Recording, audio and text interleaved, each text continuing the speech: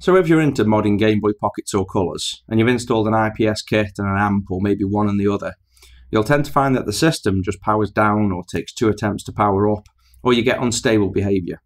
This is due to the stock regulator on the Game Boy Pockets and colours not being able to provide enough power for these new mods. That's the reason I created the Clean Power. It works for the Game Boy Pocket and the Game Boy Color, there's one for each. It can work alongside the original regulator to supplement the 5 volt rail, so you can continue to use, say, the original screen or certain IPS screens that require the LCD voltage, or you can remove the regulator completely if you're using the LCD kits from us, which don't require the LCD voltage and they run entirely off the 5 volt rail, which gives you a bit better power efficiency. So let me show you how to install this. It's nice and simple. Let's just jump straight in. So firstly, we have on the board here, this is a pocket in this example, and here's the original regulator, this green board that attaches on top. And from behind, you can see the inductor. These are the caps that help with the 5 volt rail. They can stay on. Uh, but the green board is effectively the regulator. This is the thing that we need to improve in order for heavier mods to work. So let me just show you firstly how the original regulator works, what voltages to expect and what things are doing. So if we take a look under the scope, just bring the scope in. You can see here we have the pins of the voltage regulator, which are basically just poking through from the green board. So the green board just has power here, and you can see it labeled VCC and ground that come down and in to the main board. And the other side here is labeled VDD, which is the output. This is the LCD voltage labeled VEE, and then ground. So if we flip that over, the way we'll be working typically on these is looking from here. What you have is ground here, the power in here straight from your battery after it's gone through a fuse, and then on this side, here's your output. This is the pin that struggles to provide power to the system. This is your 5 volt rail, and this is the one we're supplementing. This is your LCD voltage, and this is ground again. So let's just see that on the scope. Let me just boot up the bench power supply. So we connect ground, and we have 3 volts coming in off the bench power supply. We connect ground and power here. Now when the console is off, uh, you'll see the difference. I'll measure both. So if I can try and get this all in one hand and do this at the same time, I will. Let me just bring up the multimeter. Uh, we're in DC mode, which is what we want. And let's just currently measure the voltage on the input, which is coming straight from the battery pins I've just connected to.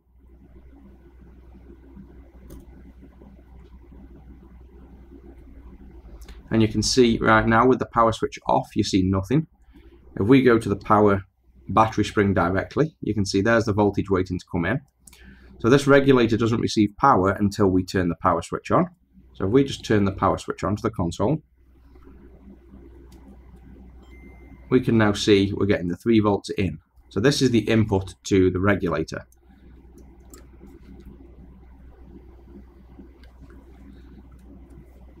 And now if we hold ground here, so you can go from ground anyway, you can go from ground here uh, and just double check there. So there's your 3 volts in. This is the output, which should be 5 volts, which you can see, 5.1. And this is your negative LCD voltage, which is minus 18, roughly. Try that again.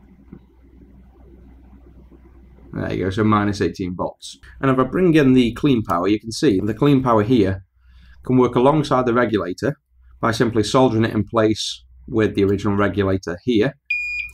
And you might just need to use um, a short piece of wire uh, while it sits on the inductor. And you would do this if you want to maintain the original LCD screen because that uses this negative rail. Um, or you might be using certain screens like FunnyPlaying screens that also require this negative voltage rail uh, to set the brightness of the screen. Uh, the only downside to this is it will be slightly less efficient. Nothing crazy, nothing that you're going to you know really complain about. Um, but removing the original regulator if you plan to not use original screens and use IPS screens that don't need the negative voltage is the best way to go. Uh, the simplest way to test this would be to install this mod with three wires, so one to power here, one to ground here, one to 5 volts here. and then you would cut the 5 volts input here on the original regulator, just snip that off and bend it out the way. This would then prevent the original regulator from running. You can test your screen that you've got installed and see if it works fine with brightness. If it does, then you could just go ahead and remove the old regulator. Otherwise, you could just simply then reconnect the cut pin here by bending it back and soldering it, and you haven't made any major changes before you've confirmed. The other option obviously is to simply remove the old regulator, install the clean power, and if you find you need the negative voltage, simply reinstall the old regulator. It all depends on how comfortable you are with your soldering skills. For this example, I'm going to show you how to remove the old regulator and then install the clean power. And obviously we have the original screen here, so the screen won't show, but we'll hear the audio. So the simplest way to remove the regulator without any fancy tools is to apply plenty of solder. So just get fresh solder on the pads that you want to remove. So it's these three and the other two. And you can happily bridge them together because it's coming out. So don't worry too much about bridging them. That's just going to help with heat transfer. And then what I would do is I would get tweezers under here, wedge them in, and now I can apply some gentle force down. And it's not much, it's literally just a little bit of force on the thumb like this and then as I warm up these two pads simultaneously, one to the other, I apply a slight bit of force on the tweezers and you will find that it will start to come loose and come away from the board. And it's all about keeping these two pads heated at the same time as the goal.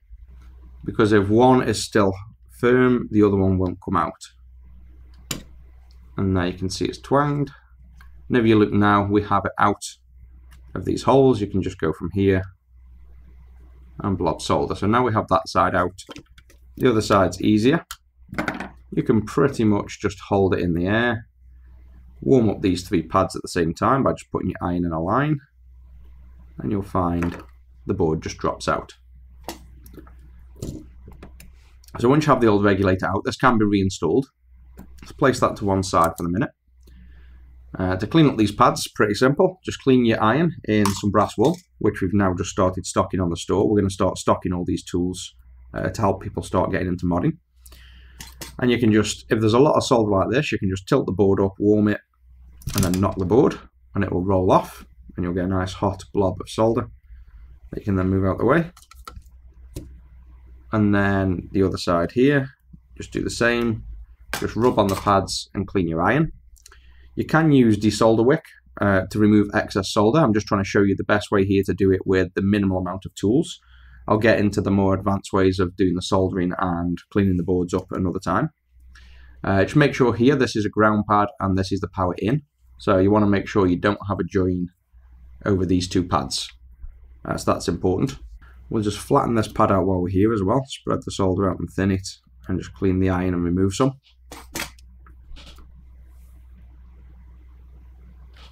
And there we have the pads ready to solder to. So we take the clean power, place the clean power down. You can see it'll fit in place perfectly.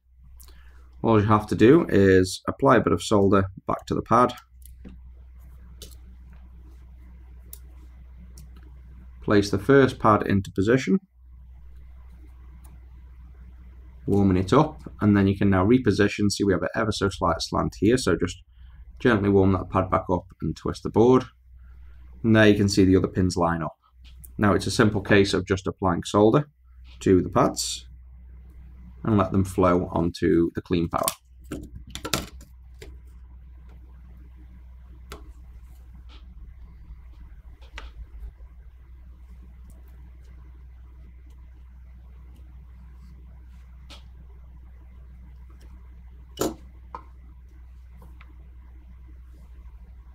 And this corner one is the only one that might be a bit tricky for some people just to see, but you'll see it flows on just the same. And there's the joints. So pretty easy to solder. And then there it is in position. Looks nice and clean.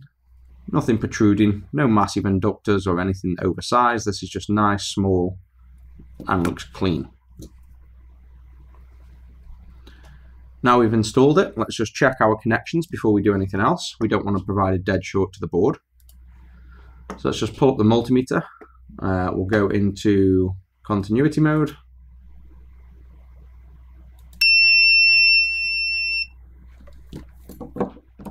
And now the main thing we want to check is the ground pads should be connected to each other, which they are. The power input should not be connected to ground, which it isn't. And if you shorted the metal pad just under here, that's what would happen now. This would beep, so that's good. The input and output should not be connected. The small beep is the current passing through the IC when it charges, so that's normal. If it continues to beep, there's a problem. But you see there's no connection there. And finally, check ground on the bottom right to the second pad up here, and that should not beep either. So the only two that should be connected is these two here, which are two ground points, and nothing else should be connected to each other. If that's the case, we're good to go and test this board now. So now we want to juice it up again. Let me just move the scope out the way. And let's just apply the 3 volts input again to the system. This time we won't have the screen working because we've disconnected the negative LCD voltage, which we don't need because we plan to upgrade this with an IPS screen that doesn't require that. And if I connect to the main in and connect the power, we can then do the same test again. Just pull up the multimeter. You could hear the audio then, so you know the system's working. And now, just to prove it anyway, we can connect to ground and the input, which should be the 3 volts. And there's the 3 volts. And then ground and output. And you can see you've got a nice steady 5 volts. So that's all there really is to installing the board. It's pretty simple. The soldering is not that advanced and it's pretty hard to go wrong. And once it's installed, you're good to use all the mods you like. This will handle EverDrive plus IPS plus audio mods plus CleanJuice Air if you want to do a complete and utter full mod. Uh, this is completely capable of all the mods you need. If you have any questions or need help installing it, just let me know. And I hope you guys enjoyed it.